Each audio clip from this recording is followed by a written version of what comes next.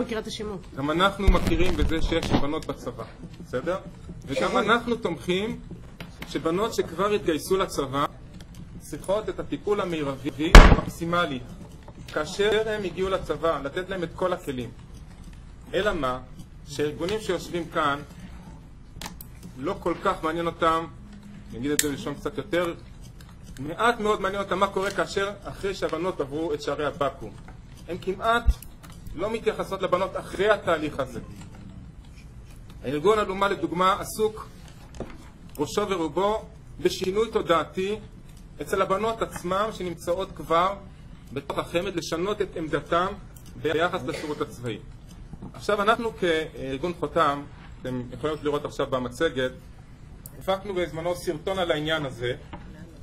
אה, הסרטון הזה עורר הרבה גלים, חלקם, חלק מההתייחסות הייתה כיוון שהצפנו את הסוגיה עצמה, היה קשה מאוד לחלק מהאנשים לעכל את המסר שיש כאן, שבנות יש להם קשיים מאוד גדולים כשהם נכנסים למסגרת הצבאית והחליטו לתקוף את השיער של החיילת הבלונדינית כפי שאתם רואים או כל מיני דברים שוליים. למה עשיתם בלונדינית? אבל אנחנו, למה עשיתם בלונדינית? אנחנו אומרים דבר אחר. למה חייל מזרחי? אנחנו גם כן רוצים לסייע לבנות שכבר נמצאות בצבא. אלא מה? ככה משפילים, לא לא אלא. מה? צריך להגיד את הדבר הפשוט הזה. הציבור הדתי מבין שהמקום המשמעותי שבו בת אמורה לתרום ואמורה להביא לידי ביטוי את היכולות שלה זה במסגרת השירות הלאומי. עכשיו אפשר להתווכח עם הציבור הדתי, אפשר להתווכח עם 85% מהציבור הדתי, למה אתה לא חושב שהיא יכולה לבטא את עצמה? לא, אתה- תן לי לסיים שאלה. אוקיי? כי א', אני רוצה להסביר לך משהו כאן. אני מנהלת את הוועדה הזאת לא פעם אחת ולא פעמיים, אוקיי? אני מחליפה את עאידה מתי שצריך. אז קודם כל אני רוצה להסביר לך משהו על התנהלות ועדה. כשחבר כנסת שואל אותך שאלה, אתה נותן לו לסיים את הדברים שלו. אגב, גם אדם שבזכות דיבור כאן או אישה, אתה נותן לה לסיים את הדברים שלה, ואחרי זה תתייחס.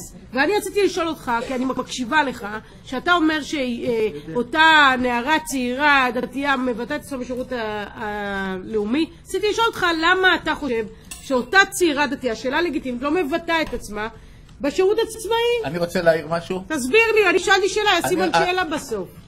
אה, תראה, אתה רב? לא, אני עמיטל בראל. אז הוא לא אני יש לי אה, שאלה כן, אליך. אין לו הגדרה. פה. אני לא הייתי מעז לצייר ככה חיילת. סליחה, אני... שנייה רגע, לא, לא, תקשיב, תקשיב. גם לא הייתי... כשנותנים זכות הדיבור, תקשיב, תקשיב. שנייה, אבל חברי הכנסת, אדוני, לחברי. הכנסת בוועדה מותר להעיר גם קריאות ביניים. גם. אנחנו ניתן לך את זכות הדיבור שלך, הוא רוצה לשאול שאלה, אני שאלתי שאלה, והוא שואל שאלה, מה השאלה, שטרן? אני שואל, אתם אנשים דתיים. אני לא מכיר חיילת שנראית ככה. אני לא מכיר ציור כן. שמישהו עם זקן וכיפה היה נותן להבלטה כזאת של חזה, ככה לבחורה בלונדית, כן. ככה לזלזל בבחורה, ויכול להיות שיש תלמידים שלך שאולי זה עושה להם משהו. אולי הדברים שאולי זה מזיז להם. אה, למה עכשיו- אתה מפיץ את זה? אה, למה אתה מראה את זה כאן? אתה כאדם דתי. אתה כאדם אדם- דתי, רגע, רגע, לא, לא. אנחנו לא נעשה, סליחה, אדוני, שטרן. סיימת, תן לו להתייחס בבקשה. חבל. בחיים לא התחלתי כזה, כן. אה, בושה. זה חילול השם. זה ניסיון להשתיק... איזה עליהום? על מה אתה מדבר? מה זה לא... אמרתי לך. שאני אשמור על זכות הדיבור שלך. אתם נותנים להציג כאלה דברים? בשום אופן לא. בשום אופן לא. אתה יכול להתקדם כבר עם התמונה כן, הזאת? כי. הבנו את לא. זה עושה לו משהו. אולי זה עושה לא, לו. זה תקוע לי מול קח הפנים אותה גם. הביתה. קח את התמונה לאשתך. זה- זה- שים אותה כן. במיטה שלך. תתבייש שטרן, לך. שטרן, שטרן, המחשבות בוא, בוא. לא, אתה, אדוני, אדוני, תמשיך בבקשה. עם העניין, הורדת את התמונה הזאת, זה בכל כבר אופן, אחרי התקדמות. כל הדברי בלע ששמענו כאן, כן. אנחנו כאן רואים את אה, אה, האחוז של הבנות, תתייחס יפה, אוקיי? ותפסיק עם ההערות האלה. ההורים שמעוניינים שהבנות שלהם יגיעו דווקא לשירות הלאומי. עכשיו אני רוצה להביא עוד נתון מאוד משמעותי, אם אפשר בבקשה לעבור למצגת הבאה. אנחנו נהנים אה, לייצר איזו תחושה שאנחנו במלחמה של העבר, שהרבנים או הציבור הדתי כבר לא רלוונטי, הבנות מקבלות החלטות באופן עצמאי. רבותיי, אני מחזיק כאן מחקר של מרכז המחקר של הכנסת. כן. הנתונים שמוצגים אה, השכם והערב בתקשורת על ידי כל מיני ארגונים, אין להם שום קשר למציאות. אם אנחנו בודקים את המציאות ב-15 שנים האחרונות, כן?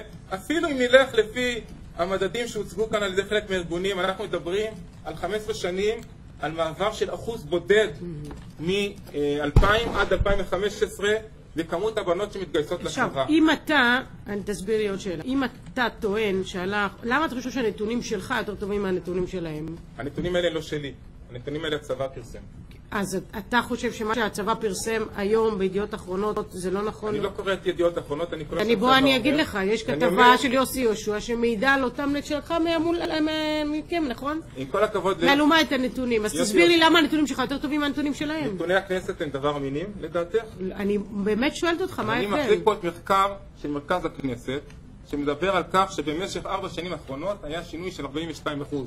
לא 200 אחוז, כל, כל דובר בתקשורת אחוז. מקפיץ את הכמות האחוזים על 14, על 40 ומשהו אוקיי. יש לנו בעיית נתונים. עכשיו אני רק. רוצה אה, נקודה אחרונה, אם אפשר לעבור לשלב הבא. אנחנו בארגון חותם לא חושבים שצריך להזניח את הבנות. ואנחנו מטפלים בבנות גם כן כשהן נמצאות בצבא, התחלנו בזה לאחרונה.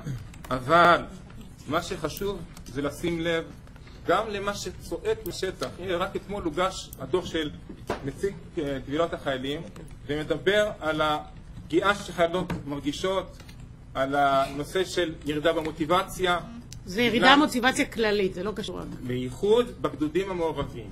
ואנחנו אומרים דבר מאוד פשוט, אתם רוצים לטפל בבנות, אתם רוצים לסייע להם, גם אנחנו רוצים. תעשו את זה כשהן נמצאות בצבא, תסייעו לרבנות הראשית. אל תנסו לחנך את ההורים, אל תנסו לחנך את הבנות בניגוד לרצון שלהם. מי שרוצה שיזמין את הארגונים האלה, בבקשה, זו החלטה אישית שלו. לא ניתן לכפות את התפיסה לא- לא כופים על אף קצה אחד. בתוך הציבור הדתי על כלל הציבור הדתי. אדוני, אין פה מערכת כפייה, אתה חייב לצאת מההגדרה הזאת.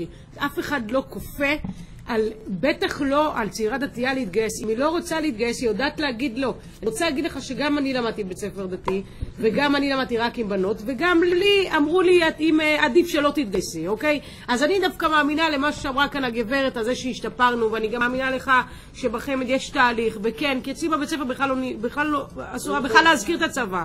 והיום אני בבית ספר הזה מתגייסות הרבה נשים. אז עם כל הכבוד, אף אחד לא יכול להתגייס, בטח לא צעירה דתייה, לא מתגייסת בכוח, זה לא יכול להיות גם, טכנית זה גם לא עובד.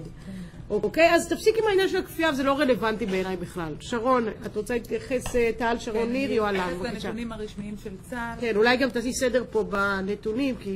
אני אגיד שני דברים בהיבט של הנתונים. לנתונים הרשמיים של צה"ל יש אה, חד משמעית מגמת עלייה בהיקף המתגייסות הדתיות אה, בבוגרות חמ"ד. שנת זה. 2000, אה, שנת 2010 היו 935 מתגייסות, אל מול אה, שנת 2016 שאנחנו מדברים על 2,159 מתגייסות, ובהקשר לשנתון זה אפילו יותר, זה סדר גודל של 2,400.